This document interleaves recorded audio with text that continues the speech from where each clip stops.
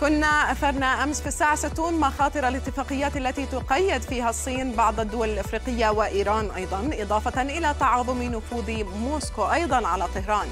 عقب ردود الفعل على زيارة إبراهيم رئيسي لموسكو انتقد عدد من النشطاء في إيران سرية الاتفاقيات مع روسيا والصين قائلين إننا أصبحنا مستعمرة صينية روسية.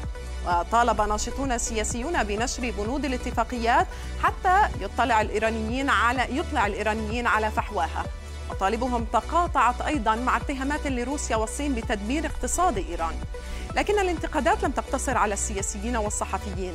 حسين موسوي تبريزي الأمين العام لجامعة علماء ومدرسي حوزة قم ارتاب في سرية بنود الاتفاقيات وقال إن إيران اضطرت لإبرام عقود طويلة الأمد مع روسيا والصين بسبب العزلة الدولية.